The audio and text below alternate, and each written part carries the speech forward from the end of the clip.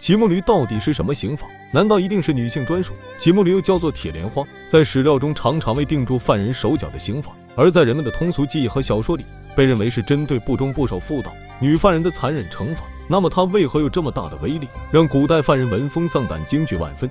其实根据历史资料记载，骑木驴并不单单针对女犯人，它的最初惩罚方式是用钉子钉住犯人的手脚，就算是男罪犯也会受到这样的待遇。比如历史中宋代就有这么一个案例。建炎元年，密州知府赵业临阵逃脱，抛弃城市，被密州军卒抓住后，受到骑木驴的惩罚。但史料中只有定手脚的记录。至于接下来要讲的内容，或许在小说中常见。在全球首部颜色 3D 电影《肉蒲团之极乐宝剑》中，一个场景让人印象十分深刻。女主角身下骑乘的木驴有一个自动装置，当她坐上去的时候，狱卒就会拉动开关。触发装置，铁莲花在他的身下一开一合，还会旋转不停，让他痛不欲生。而在清朝小说《狄公案》中，对骑木驴也有记载。木驴大概高三尺，四条木腿下端装有车轮，驴身中间有鞍肩，鞍肩之上还有一根圆柱形木杵，可上下移动。随着车轮前进，木杵也会上下运动。这个刑法在小说中被描述为专为女性使用。但是狄公案到底是虚构的小说，历史学家很难找到历史依据证明其真假。而根据一些野史所说，骑木驴内部还有一个装置，叫做铁莲花。如果犯人不老实交代，官役们就会对女囚的下体进行折磨。本就是最敏感的地方，哪里受到了这种折磨，女囚就算疼痛，男人也必须忍受，时常发出厉鬼般的哀鸣，令人痛不欲生。你怎么样？你身体吗？啊骑木驴到底是什么刑法？难道一定是女性专属？古代一位硬汉也死于此刑。而根据电影《肉蒲团之极乐宝剑》，女主角蓝燕的回忆，自己骑木驴就已经非常痛苦了，如果再加上铁莲花，那该是多么的可怕！以前的女囚犯真是太可怜了。据说第一次出现女性骑木驴的惩罚是在北宋时期，而且在《水浒传》中，潘金莲和西门庆这一对奸夫淫妇被杀害后，武松还不忘找到始作俑者王婆。这个王婆经常干这种缺德事情，于是被人拉出来判处剐刑。先用四条长钉把她钉在木驴上固定好，然后东平府尹判了一个瓜字，王婆被人拥护入街时，两声破鼓响，一棒碎锣鸣。前面有人引着王婆的木驴，后面有多根棍子催促，受尽了剐刑之苦。北宋时期的木驴其实还有所分别，它通常是一块椭圆形的木板。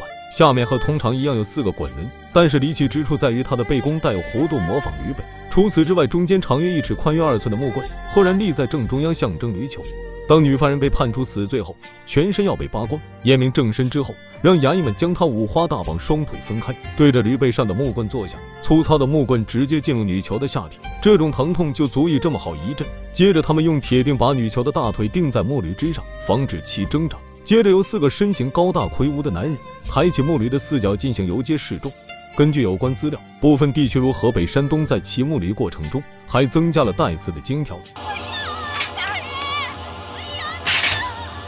骑木驴到底是什么刑法？难道一定是女性专属？古代一位硬汉也死于此刑，这就是《水浒传》中的混棍，一边派人用金条抽打犯人的背部，一边控诉其罪行。比如王婆在遭受刑罚时，旁边狱卒就会高喊：“淫妇王氏于某月某日犯某罪，女子木驴游街示众，以儆效尤，莫如妾身之下场。”而且除了私处，女囚其他地方也会受到伤害，有的地方还会抽打女囚的胸部和臀部，一来折磨令其加倍痛苦。二来增加其内心的愧疚感，当众射死。到了明末清初的时候，骑木驴又经过了一些改良，先在一根木头上竖起一根木柱，将女囚吊起来放在木柱顶端，然后将木柱上端戳入女囚体内，放开后利用惯性下坠。最惨的莫过于女囚身下的木柱从体内穿出，而此时的女囚尚有知觉，却因失血过多而死。